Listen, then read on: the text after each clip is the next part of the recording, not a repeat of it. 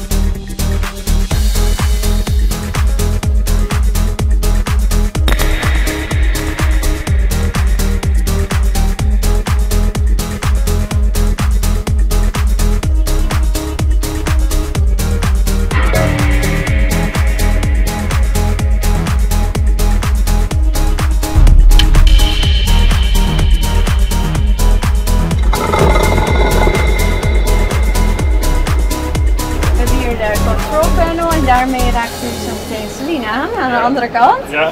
Best met de hele hand of beide handen. Zachtjes en liefdevol over het oppervlak te gaan. Dan gaan de vingers mooi bewegen.